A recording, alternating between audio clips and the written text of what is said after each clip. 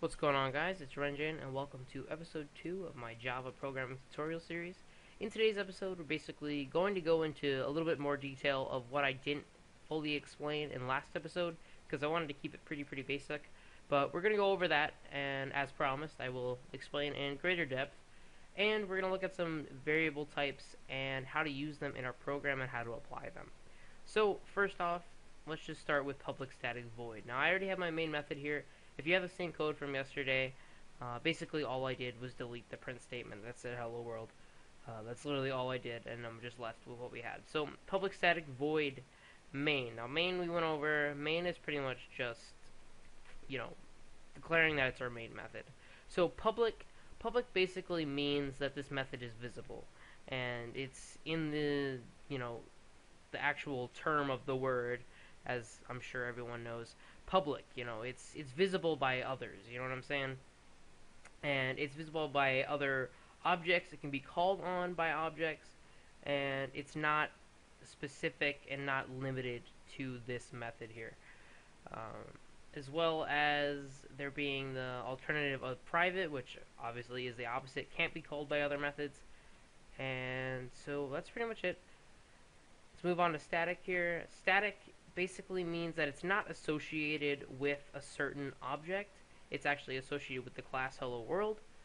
Um, so basically what this means is we don't need to make an object say, you know, well, I don't even, I can't think of a good example right now, but maybe bicycle. We, we don't have to attach this method to the bicycle, like, I don't know, spin wheel, I guess, the spin wheel method for the bicycle. We don't have to attach this method to a certain object. We can just have it kind of floating around, it can be static.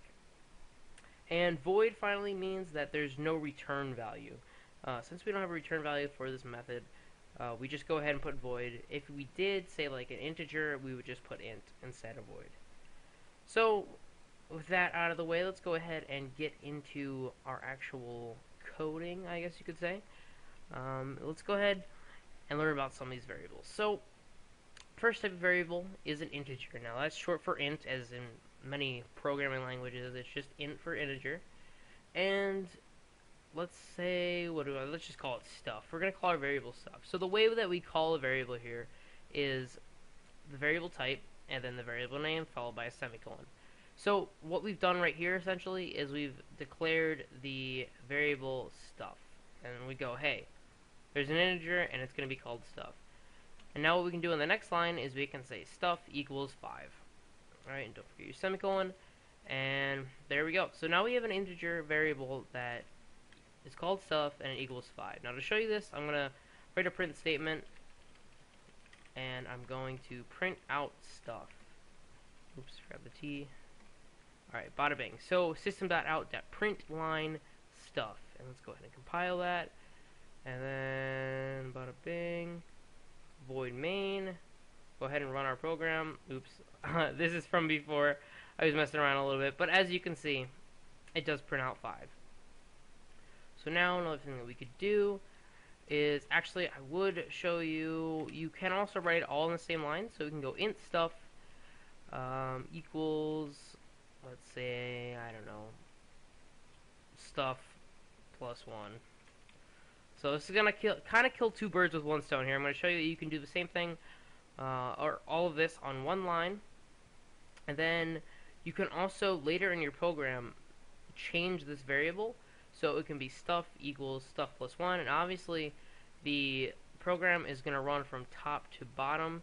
So you'll see what happens here. Let's print out stuff again one more time. System dot out dot print line stuff. Oops. There we go. And bada bing. So let's compile that. Oop, what do we do? Oh, we already have it defined here. It's not going to like that. So we can't kill two birds with one stone. So we're going to say stuff equals stuff plus one. Um, since we already, basically what that just said is basically we already declared stuff as an integer, so we can't do that again. Oh, my bad there. Um, int, let's just call another variable here. Int, um, what should we, what should we call it? More stuff. We're gonna call it more stuff equals mm, two. Okay. So system dot out dot print line system dot out. Let's write another one. Print line more stuff. which ironically is less than stuff.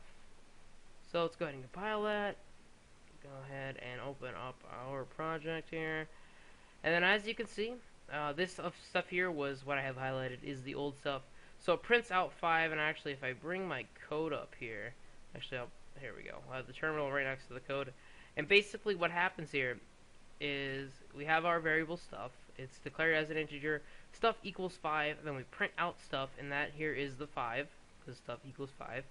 And then we declare the integer more stuff equals 2. And as you can see, right here, int stuff and stuff equals 5 is basically the same thing, obviously with a different variable, stuff and more stuff. But it's the same thing on one line, so it is preference. A lot of times some people will have, like, say, int, blah, blah, blah, and then int, blah, blah, blah, like this, and then they'll have the stuff, or the, I guess, D-O-A-S-J-I-D-I-J, they'll have this, and then the number that it equals to. So they kind of organize it like this, if you can kind of catch my drift here. Uh, I don't know if I explained that very well, but uh, maybe maybe you get it. I think you guys can catch on to that. But let's see here. Where was I? Okay, so uh, oh yeah, so this was the same thing as oops. This needs to go one more line. Boom. Okay, we're good. We're good to go. So this is the same thing as int more stuff equals 2. And of course we say system.out.println is 5. I think I already said this, but that is 5. And then we add stuff equals stuff plus 1 to show you that we can then change the value of that variable. Um, and we're just adding stuff plus 1, which is 5 plus 1, obviously, equals 6. And then we go ahead and we print out stuff, and that's where we actually get the 6th in the terminal window. And then system.out.println more stuff gives us the 2. Uh, some other variable types are double. And hold on, I'm trying to get there we go. Got rid of that. And we get a double. Um, what should we call it? Um, what is that number? Equals 23.1, okay? Let's go ahead and system dot out dot print line double. Oh, wait, what, what am I typing? Dat number. Dat number. And bada bing. Good to go? Yep, we're good to go. Let's go ahead and compile that, run it one more time. And we're going to get the whole shebang. But there we go, 23.1. Now, what we are going to try to do here is change this to int, and I will show you what happens. Let's go ahead and compile it, and whoop, possible loss of precision if you see down here required int found double right? So it goes hey wait you said in here but this isn't an integer this is a double dude. You need a double thing. And then so you change that to double and you go ahead and compile it again. And then we can continue as normal. I already showed you what happened so boom 23.1 good to go. And that's pretty much going to be it for this episode. I try to keep it nice and short and quick um, I don't know if I did a very good job about that. We're into eight and a half minutes now.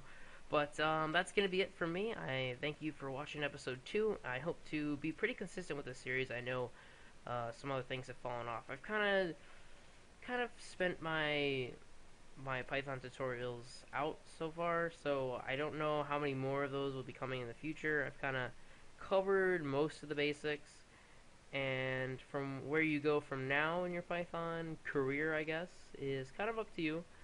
Um, there are definitely some resources that I'm sure you can find out there, and I wish you the best of luck in learning that. But uh, I hope that you stay here with me for the Java tutorials, as both you and I learn Java. I am also, of course, learning more about Java each day. And I hope that you will do the same by watching these tutorials. And thanks for watching, and stay tuned for episode 3. Thank you.